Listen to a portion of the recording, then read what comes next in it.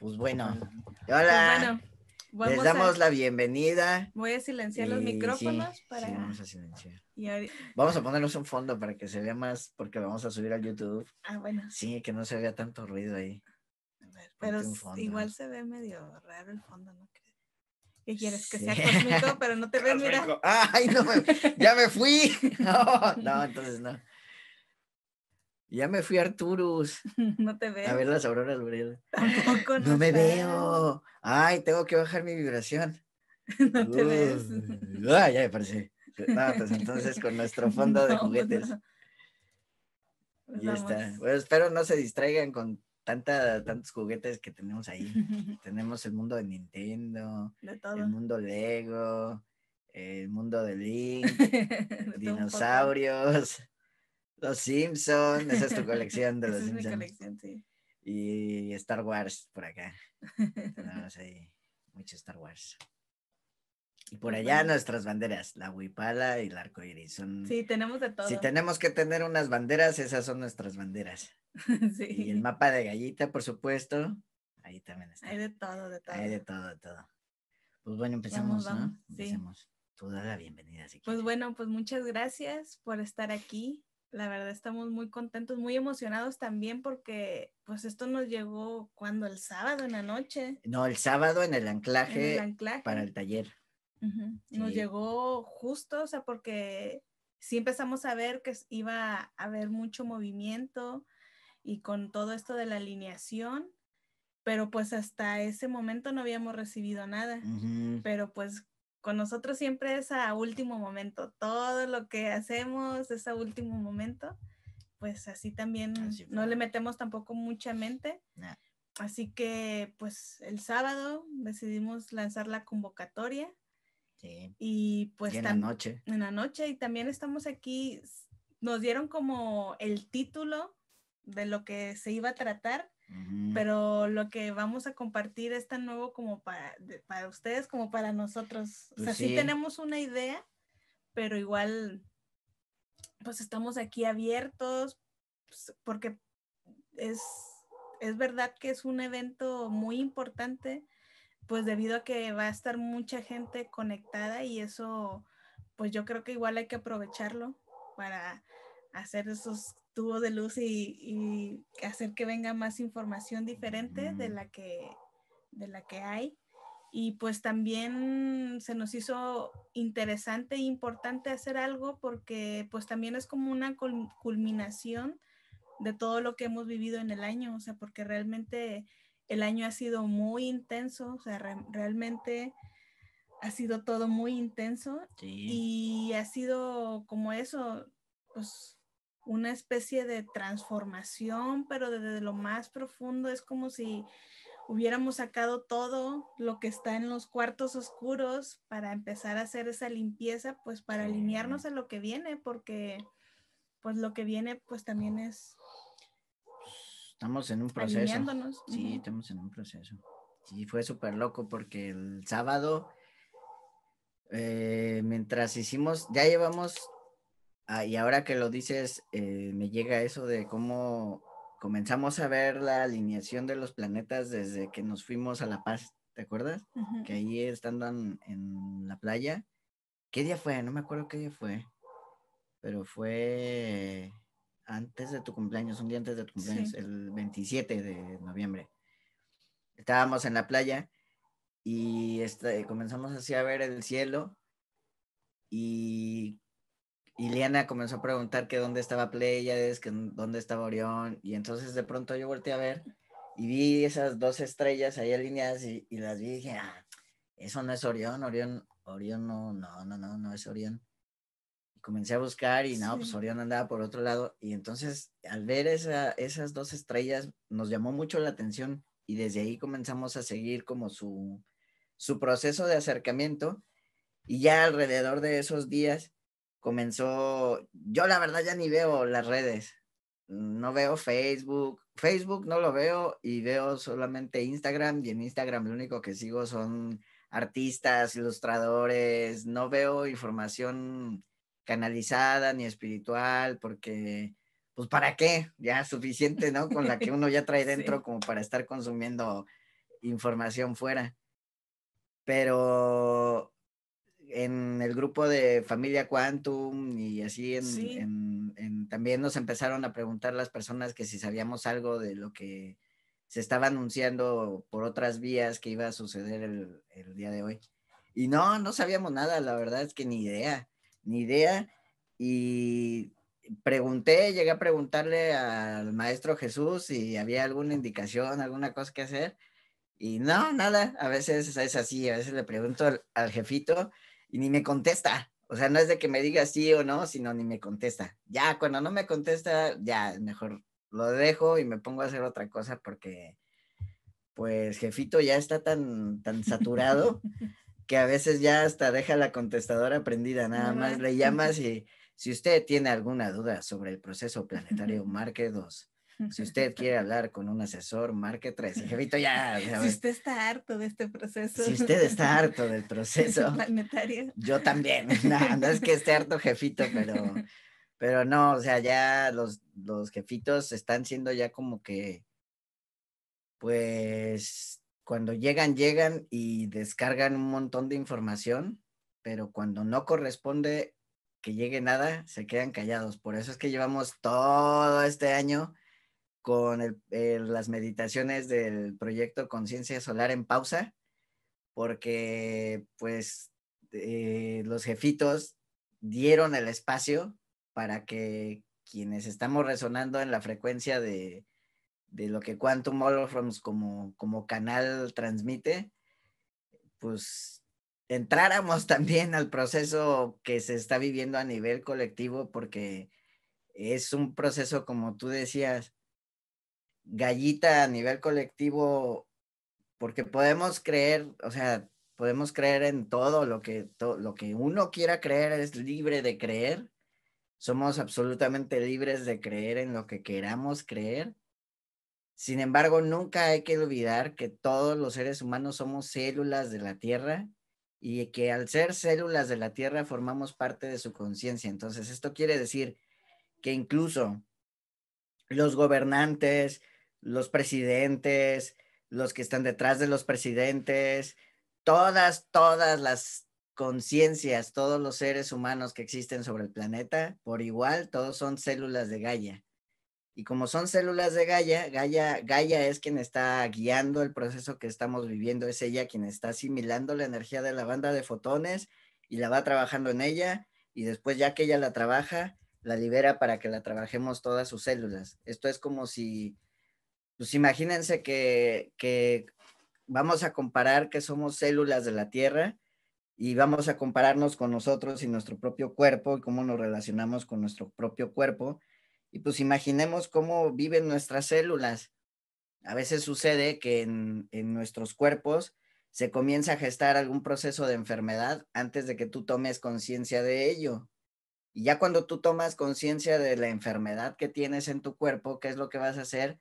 Vas a querer sanarte y vas a buscar todos los medios, ya sean naturales, ya cualquier tipo de medicina que tú, en la que tú confíes y tengas depositada tu fe, pues eso vas a buscar para poder sanarte.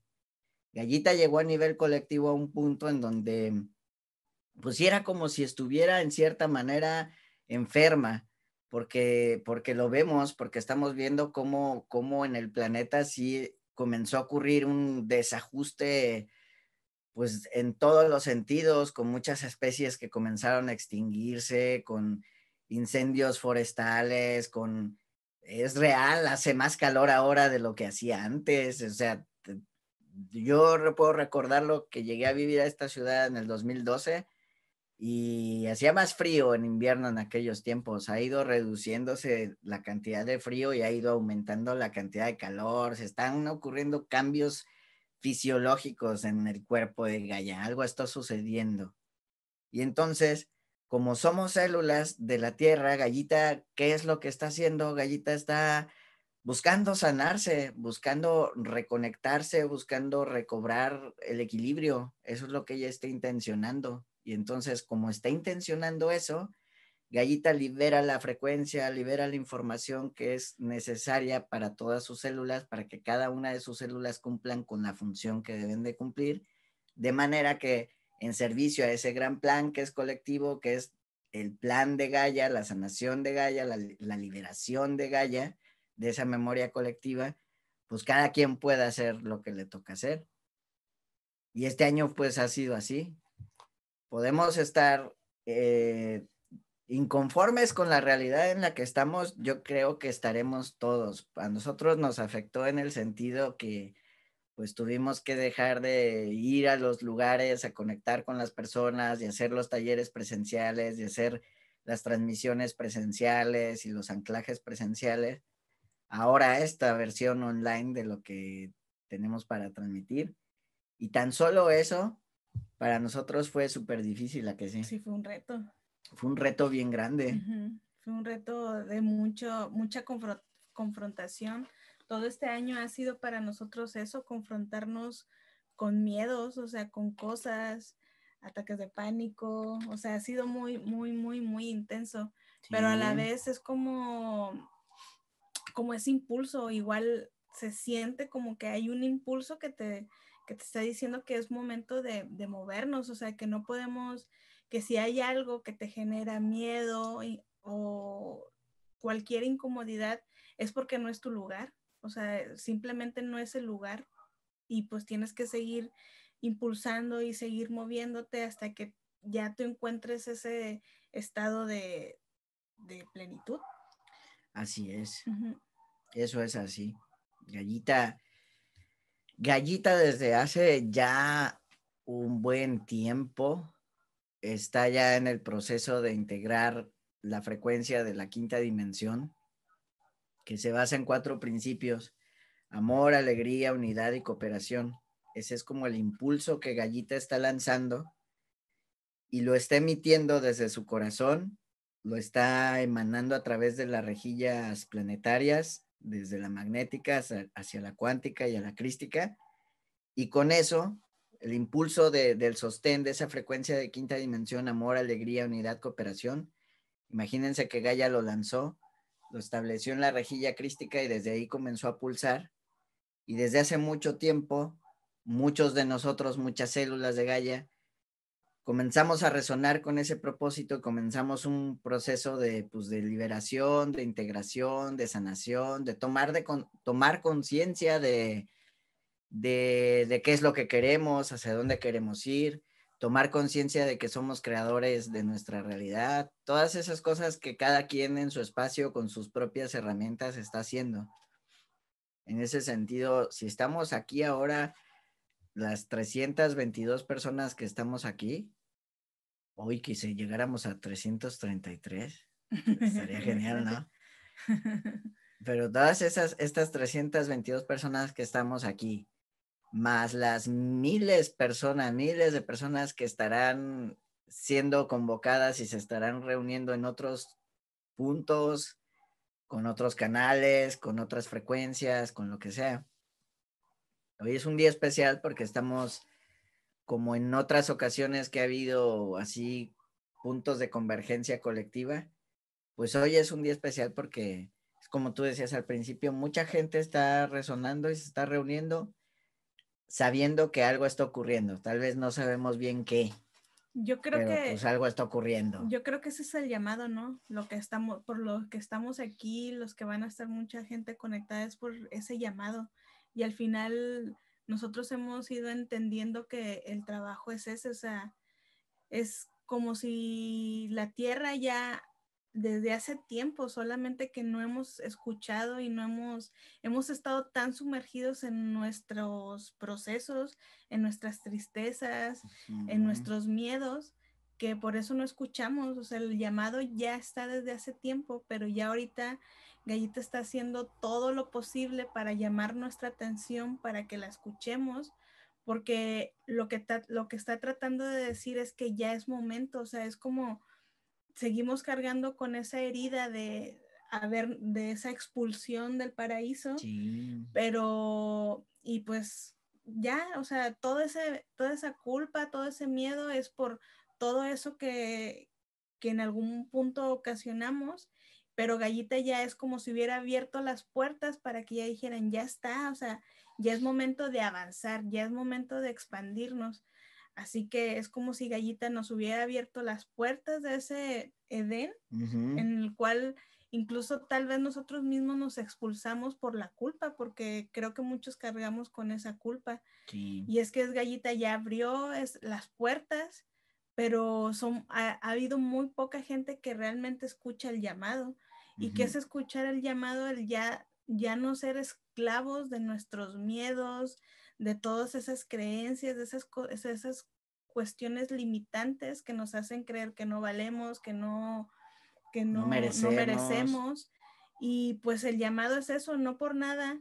En muchos lugares estuvo diciendo que esto era como la estrella de Belén para que el nuevo Cristo renaciera. Pues el nuevo Cristo es eso, ¿no? Ese ser que se sabe, que se sabe, pues que vale, que puede, porque eso es lo que, lo que Jesús vino a dejar en su momento, ¿no?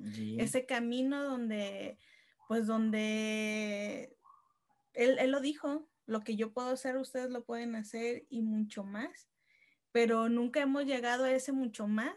Seguimos creyendo que solo unos los pueden hacer y los demás no, seguimos no creyendo nosotros mismos y pues ya Gallita de eso ya no necesita, ya necesita más, o sea, está lanzando ese llamado para que vayamos a esa quinta dimensión. Todo, yo, bueno, no sé todos ustedes, pero yo desde que entré a este mundo espiritual, lo, de lo único que se ha hablado es de esa quinta dimensión, de esa quinta dimensión, de crear esa quinta dimensión.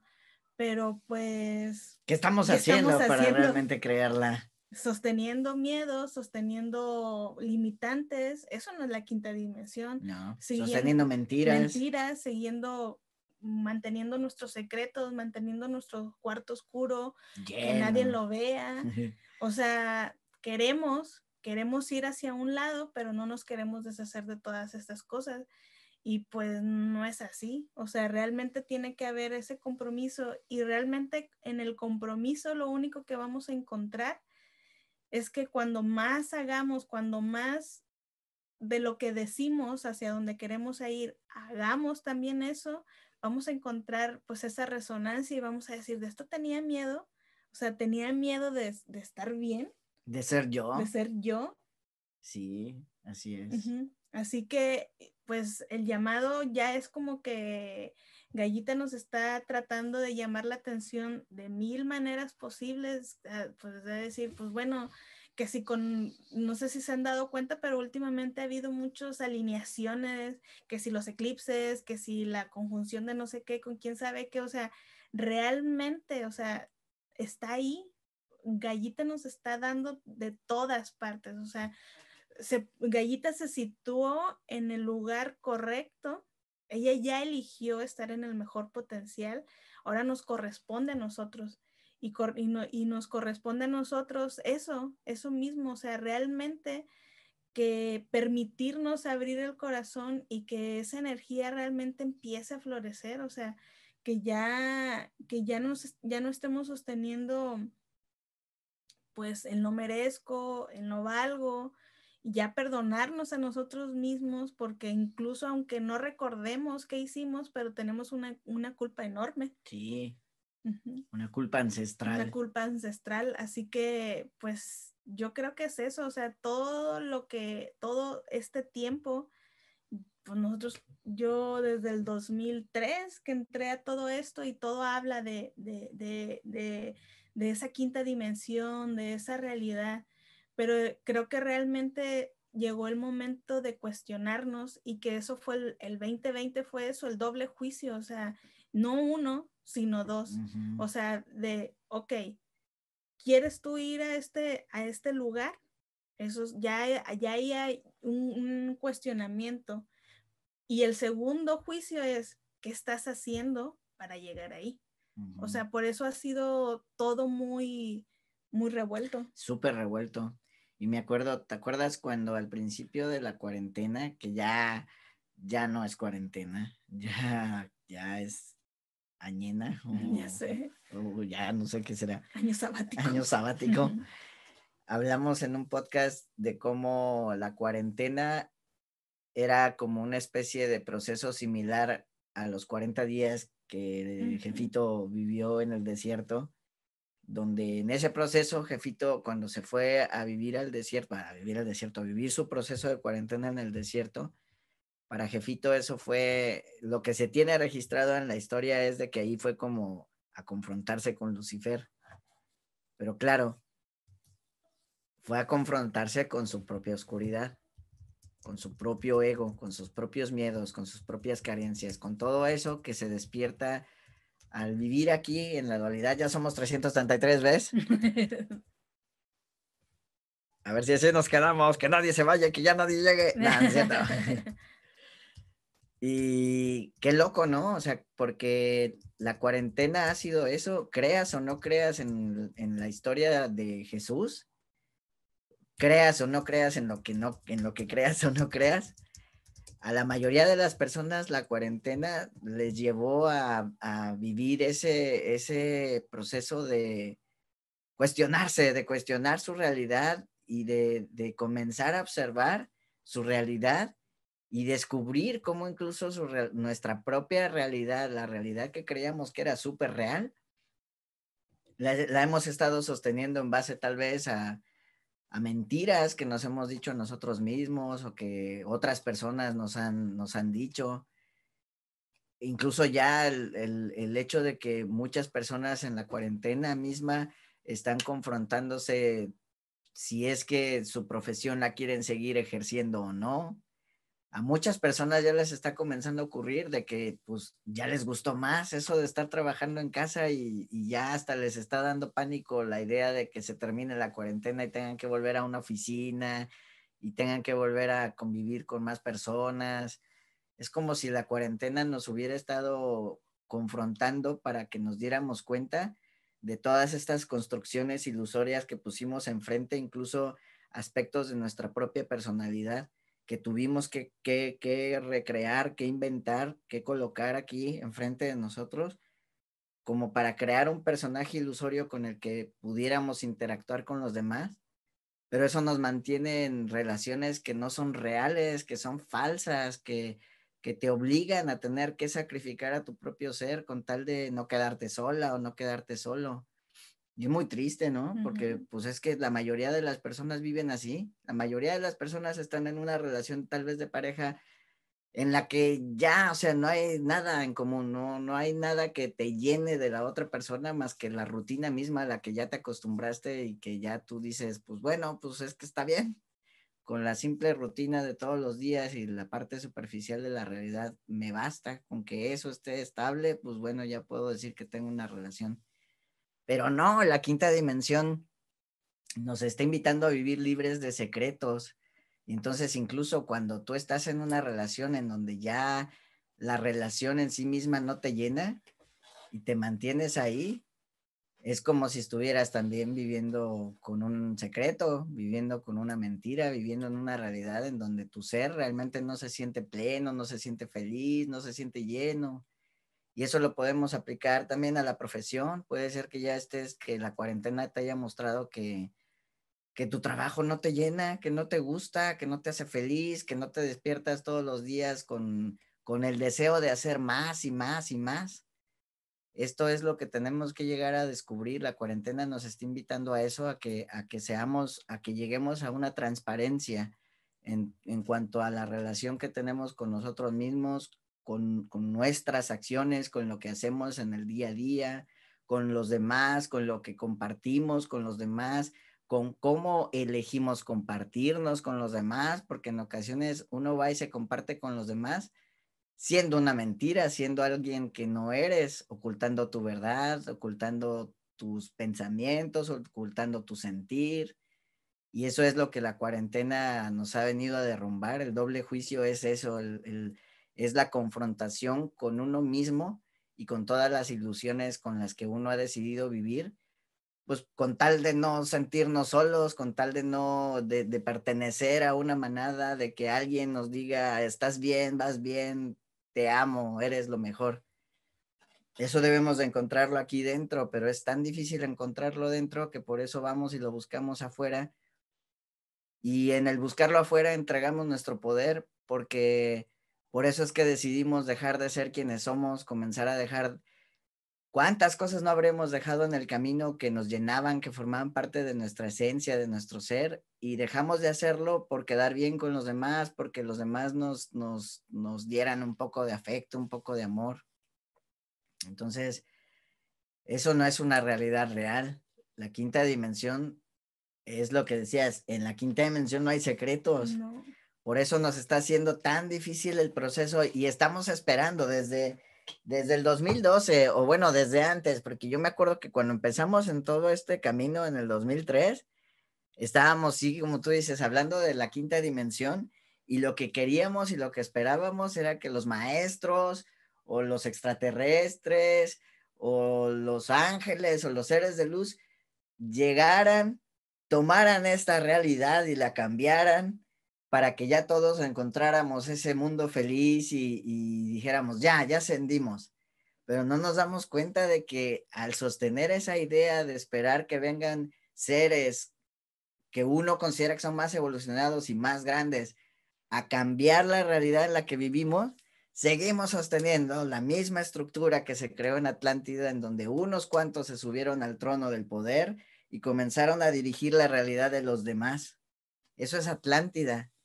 Incluso si uno vive ahí esperando a que los maestros ascendidos vengan y cambien nuestra realidad, seguimos en Atlántida. No, no hemos entendido nada, no hemos entendido lo que Gaia quiere.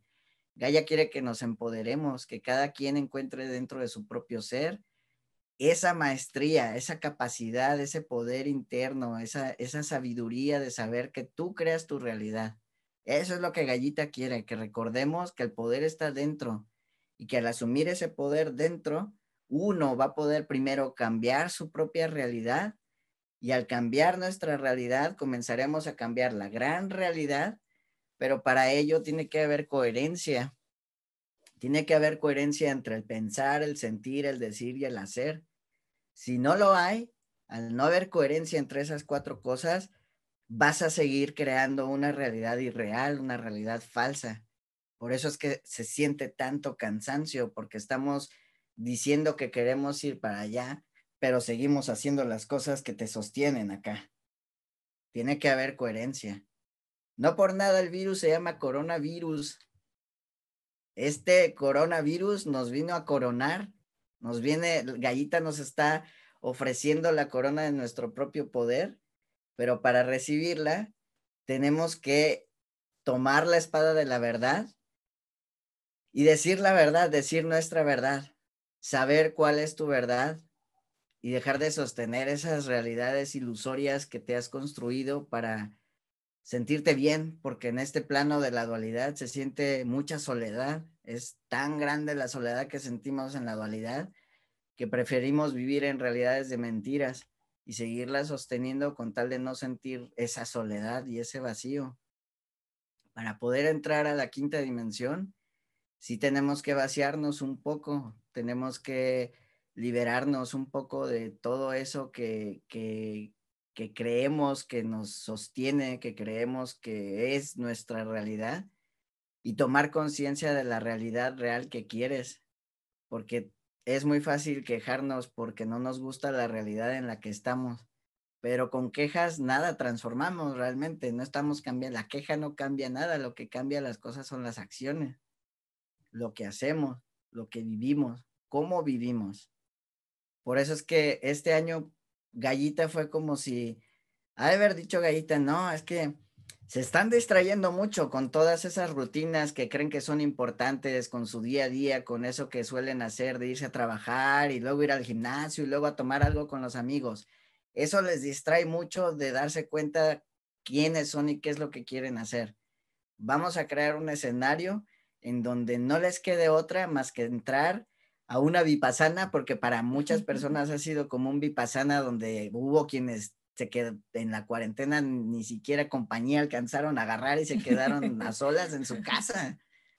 Y entonces, claro, nos sentimos que nos estamos volviendo locos o locas, pero es porque la realidad en la que estamos, el holograma de esta realidad se está comenzando ya a transformar, a, está viendo ya muchos cortos circuitos.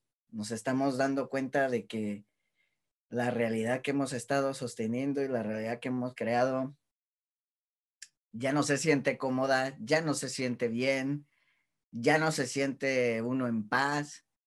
Y Gaita nos dice, todo es posible, solamente tienes que volver al inicio, volver a ese espacio en donde tú eres tú, en donde tú sabes quién eres tú. Tenemos que volver ahí, a ese lugar en donde uno es uno mismo, sin miedo, sin expectativas, sin dolor, sin culpa. Si hay un lugar ahí en el corazón, sí lo hay.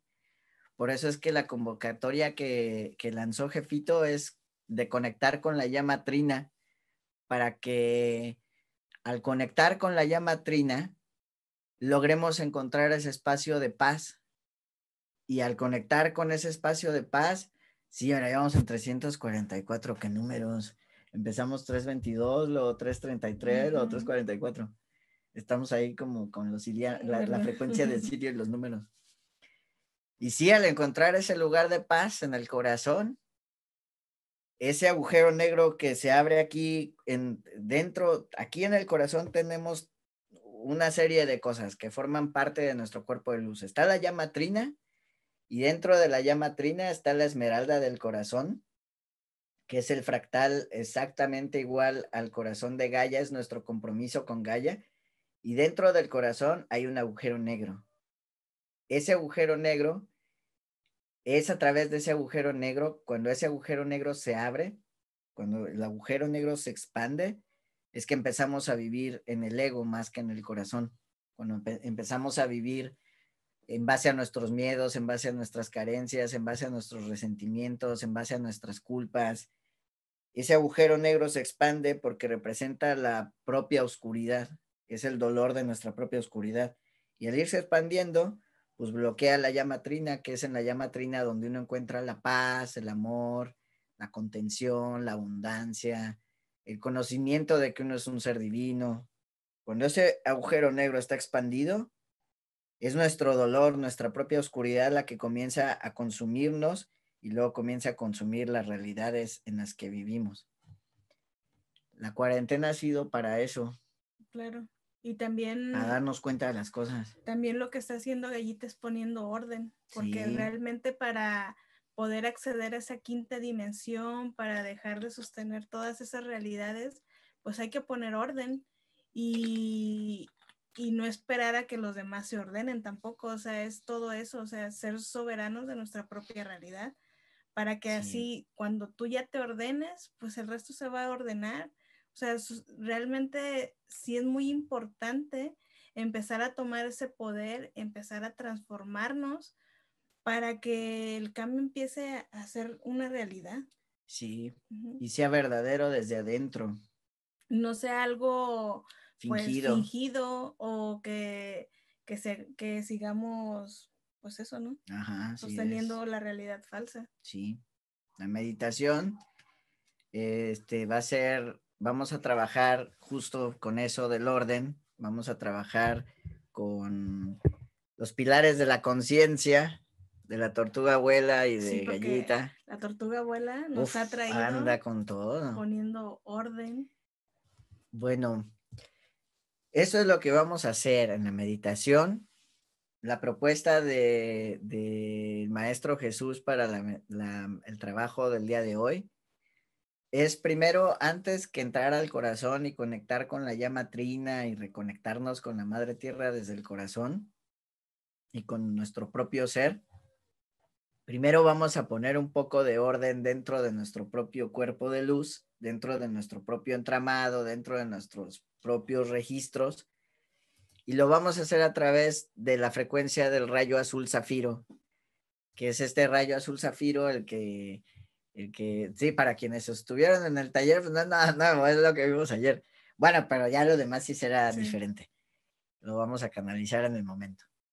Pero el rayo azul zafiro transporta la frecuencia de los 13 pilares de la conciencia, que aquí los ven identificados ya en un mapa diferente al que pueden encontrar en las meditaciones de los pilares de la conciencia que están en nuestra web. Este es el mapa más actualizado.